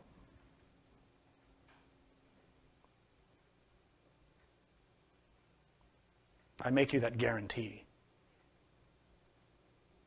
If you do not comprehend the power of cause and effect, you will fail. And if you want to see why people fall from the path and fail in the path, it is because of that. We say, yes, the masters fall because of sex, indeed. And it's because they fail to recognize the consequence of that action. That is why they fall. If they really understood karma deeply, they would never fall. So, a full and rich and deep training in these fundamentals is absolutely essential. This is why it's very interesting that, that Shivananda made a really important statement. Maybe I have it here, I can tell you. Yeah, let me read you this quote and then we'll end. So I know I went longer than I was planning on. He says, Do not imagine that you are a great initiate and that you only have to sit in meditation and enter into samadhi. You will have a terrible downfall. Even after years of practice, you will find you have not progressed an inch forward because there are deep within you lurking desires and cravings which are far beyond your reach. Be humble. Make a searching analysis of your heart and mind. Even if you are really a first class aspirant, think you are an aspirant of the lowest class and practice the Eightfold Steps. The more time you spend in the first steps, yama and niyama, ethics, the less will be the time needed to attain perfection in meditation. That is extremely powerful. If you're having frustration in meditation, this is where you need to look. If you've been spending years meditating and not getting anywhere, you need to look at your ethical discipline. So he continues It is the preparation that takes very long. But do not wait for perfection in ethics in order to take the higher practices of the path. Try to get established in ethics and at the same time practice the other steps. The two must go hand in hand, then success will be rapid. Do you have any questions? Um, when we meditate upon our death, are we meditating on our actual death or are we meditating on different ways that we can possibly die? Like, for example, um, in a traffic accident, um, etc. To meditate on your death, you can use your imagination and you can be creative. There are many practices given in relation to this um, this step. One very good example is to just imagine the moment of dying, regardless of the cause. That moment when death is about to take you. Visualize it. Let your imagination show you that. See yourself unable to reach up, unable to take your clothes away, unable to speak, reaching out to your loved ones, dying. See all the pain of your loved ones. See all your beloved possessions that you will now have to abandon. Visualize that. Let yourself feel those emotions and prepare for that. It's painful. You can also imagine the different ways you might die. But the most effective, single most effective way to do this is to cultivate the continual remembrance that at any moment death could arrive. We don't know when we're going to die. But if we have the continual mindfulness of that, we will behave better. Right? That's the basic point. But yeah, meditate on your death. Imagine it different ways. Another question? Yes? If energy cannot be destroyed, why do you use the word destroy when you're talking about transforming an ego? So if energy cannot be destroyed, why use the word destroyed when talking about the ego? Einstein's postulate states that energy and matter cannot be destroyed, they can only be transformed. As we are now, we have an enormous amount of energy trapped in our subconscious mind. And this is why Jung, the famous psychologist, said we have to make the unconscious conscious. He knew these studies, he knew gnosis. The goal then is by analysis of these subtle tendencies, these latent tendencies in the mind, we need to free the consciousness from within these karmic bonds. Each karmic aggregate traps consciousness. This is why we are mostly unconscious. We are asleep. Because most of our soul, our essence, is trapped in these tendencies towards wrong action. The goal then is to destroy the vessel the vessel is a false creation in the mind, like a crystal or a bottle that is uh, constituted of karmic tendencies. Through comprehension, through understanding, and through the power of our Divine Mother, those tendencies can be shattered. And what emerges is the consciousness free. Emerges out of that cage and is restored to its rightful place. This is a long process. What happens then is a transformation, it is a transmutation. The energy and matter that was inverted, polarized in the wrong way, is shattered from that bondage and reverts to its natural state. You see, the natural state of the mind is cognizant love, serenity, peace. When it's trapped in ego, it is the opposite chaos, confusion, darkness, pain. So it is a matter not of the energy being destroyed, but freed and restored to its natural state. Another question? How would you compare the law of and the law of karma? The law of re-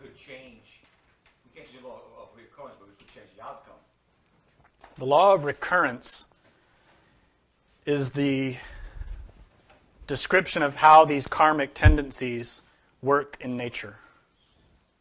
Nature works in spirals in all levels. There's a chapter in the book Hell, Devil, and Karma in which the Master Samael talks about subterranean crypts, and he explains the relationship between the serpent and the spiral. And he talks about um, Ananke, which is a Greek deity, goddess.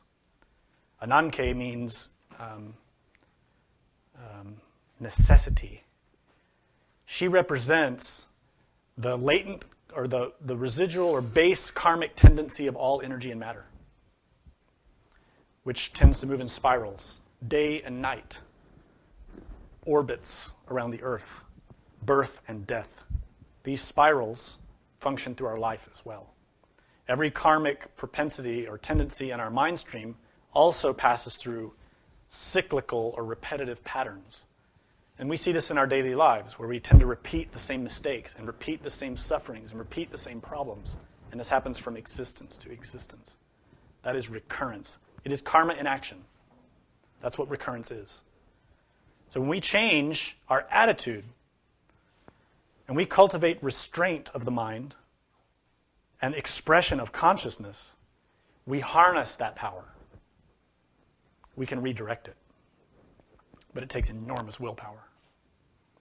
Another question back here, I believe. Oh, here? Yes. Um, controlling the anger.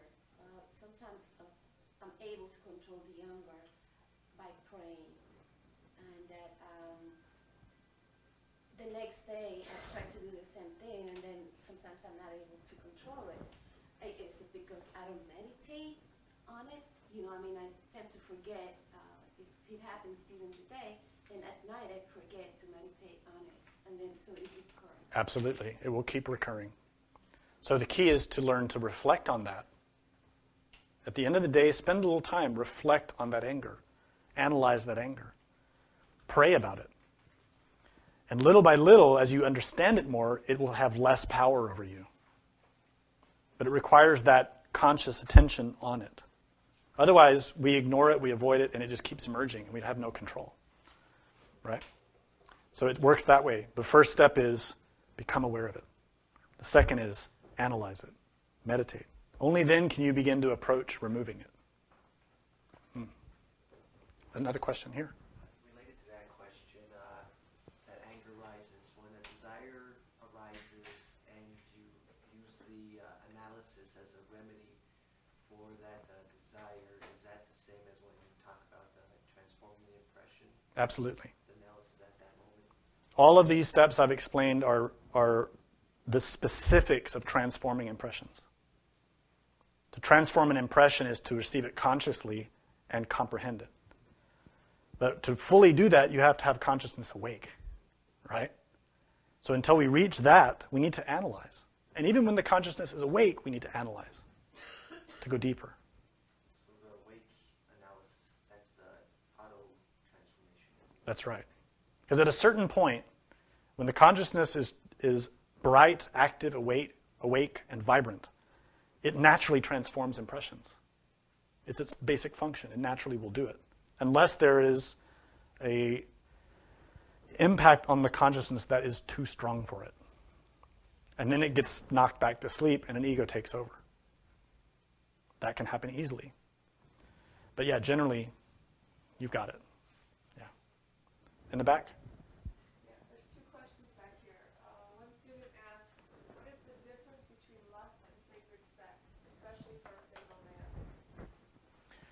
The difference between lust and sacred sex is quite simple. Lust is an animal desire that says, I want it. Sacred sex is a conscious love that says, I love you. Do you see the difference? One is an expression of pure emotion, the other is desire that seeks to acquire. One gives, the other takes. Sacred sex, true divine sexuality, is an expression of the divine. It is pure love, it is Christic, Lust is animal. It wants desire, it wants sensation, and when it's satisfied, it walks away. Second question? Yeah. It is such a huge task to remove all of the impurities. Do we still get to experience true meditation if we haven't cleaned all these issues up yet, or do we need to completely keep these in check before we get a chance to experience meditation at all? When do we get to experience real meditation since this task is so big? In accordance with the law of karma, we receive what we deserve. If we approach our meditation practice from the point of view, I want experiences, this is a desire. It is covetousness. It is attachment. If we approach our meditation practice from the point of view of, I want to change, I want to be a better person, this is good. Experiences will come naturally when the conditions are ready, when the conditions are ripe. You don't need to worry about that. Whether the experiences come or go, your focus should be on comprehension. When you really understand something, when you really comprehend something, that is the most beautiful gift, the most beautiful result you can ever have from meditation. It's far more valuable than, than hobnobbing with God, as the Master said in one of his books. Yeah, an experience in nirvana or in the heavens can be very beautiful, but it doesn't change your karma. It doesn't change your suffering. In fact, it can make your suffering worse. If you come back from an experience in samadhi and then you feel proud, or you feel lazy, you say, Oh, I did it now. I'm done. This happens. A lot of yogis learn to meditate, they reach that experience, and they think, Okay, I hit samadhi, now I'm liberated. Now I'm going to go liberate everyone else. Foolish. An experience of samadhi is not liberation. The death of the ego is liberation. Experiences will happen. They will. In the same way that when a tree grows, the leaves emerge, and the fruit comes, and it feeds us. The experiences come in the same way. Slowly, with patience, with development.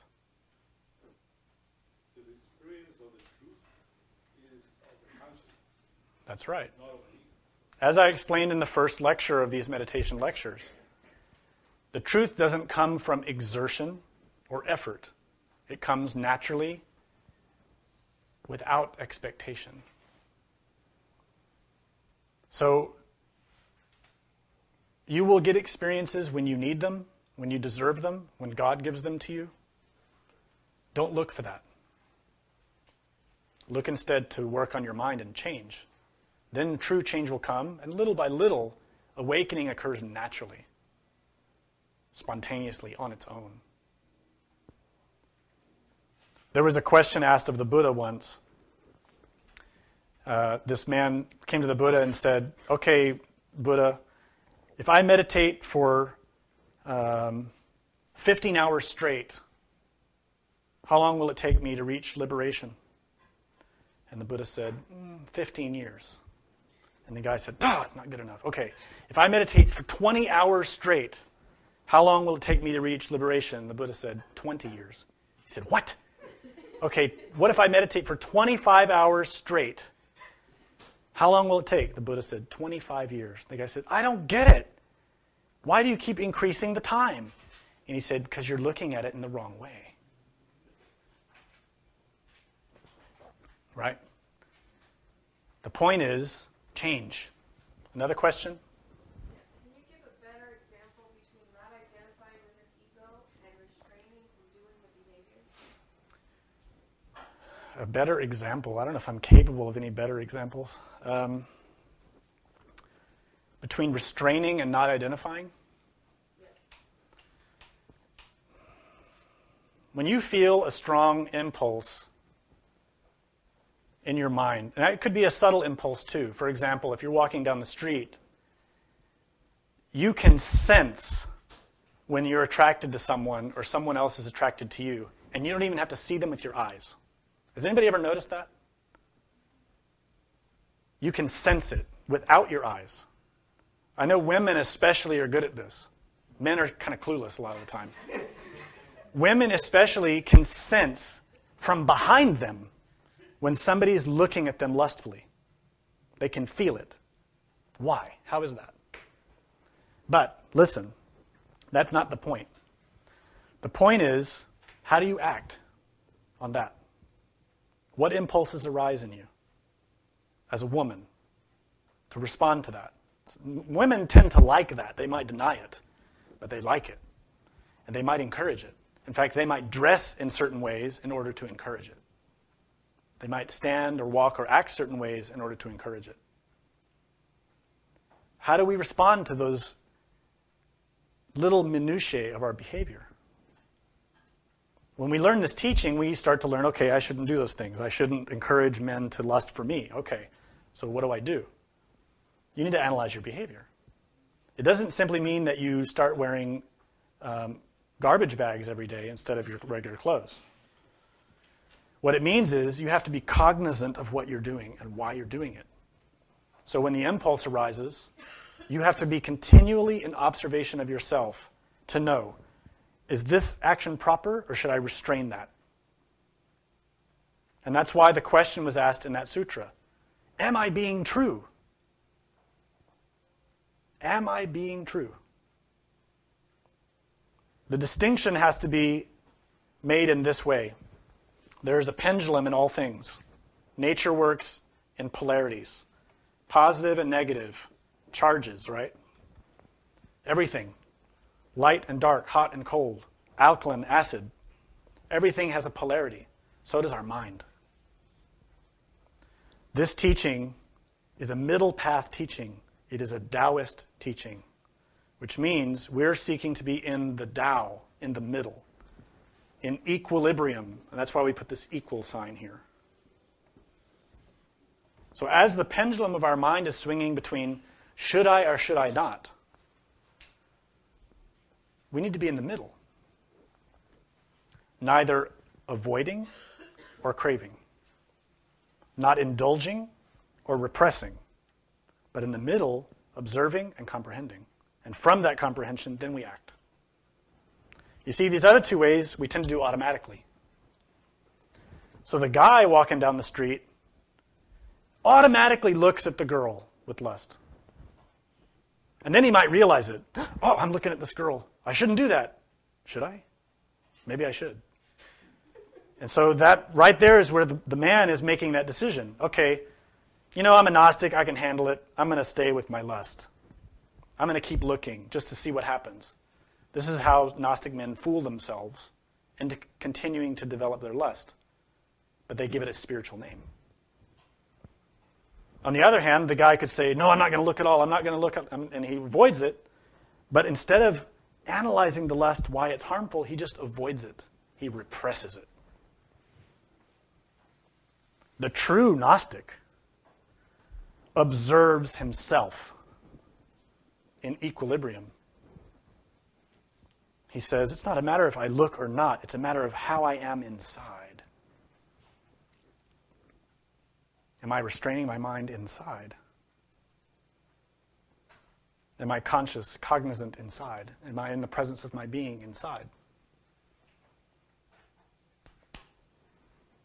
You see, this is not easy, but it's the very basis of the path. Inner psychological equilibrium in all things. So, as far as um, ethics go, he might stop looking, but he'll keep observing the lust in himself. Well, here's what will happen. That's exactly right. You stop looking first. Clearly, you have to control the senses, you have to restrain the senses. But if he represses it, he'll immediately start trying to think of something else, distracting himself, going here and there with his mind. But later, that thought, that image of that person will be revived in the mind. Maybe not during the day, but at night. And that's what causes wet dreams. This is why the bachelors have so much trouble. Because they repress the lust. It's normal in the beginning because it's hard to learn to comprehend it. But that repression only feeds the desire. The right step is to continue the observation of the mind. So the person walks away, this guy walks away, the girl's left behind, and he keeps watching his mind, and he sees these thoughts of the girl keep coming into his mind. He keeps having to say, That is lust. That is not welcome here. I'm in the presence of my divine mother. I'm in the presence of my divine mother. How can I let that lust come into the temple of my heart? That is equilibrium. It's a continual remembrance. Because at any moment, if we forget that equilibrium, then we start indulging or repressing, or indulging or repressing. And that's the cycle of the mind.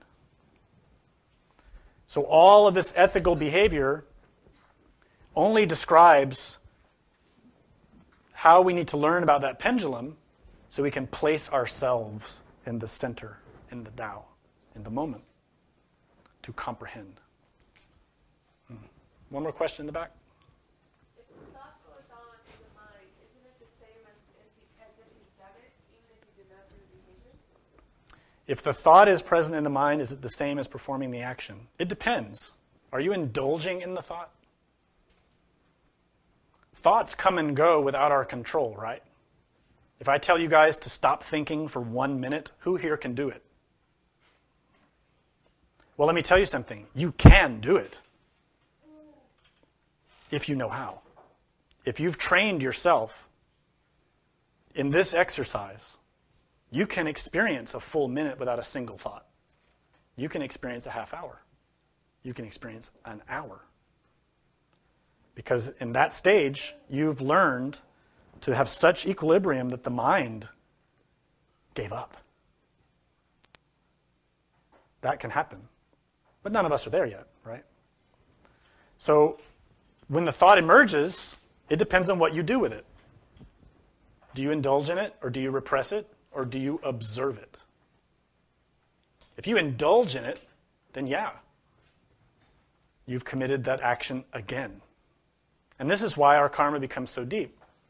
We have this anger with our boss, with our coworker, and we keep thinking about it, and the thoughts keep coming in the mind, and we keep getting more angry and more angry. Harmful. Or that anger comes up, and we think, no, I shouldn't be angry. I shouldn't be angry. I'm going to go do the dishes. I shouldn't be angry. I'm going to go wash the car. And we try to avoid it. It's also harmful. You know those people that go into their offices and kill their coworkers? They suffer from this problem. They have a lot of anger that they didn't deal with. Every single one of us has the same capacity. Every one of us. Anger is not a game. Lust is not a game. The correct way to handle it is to remember the presence of God, analyze. The Master Samael told us repeatedly every single image, every thought, every concept that merges on the screen of the mind must be analyzed coldly without passion, seen for what it is. So now you can figure that out, and I'll see you next time.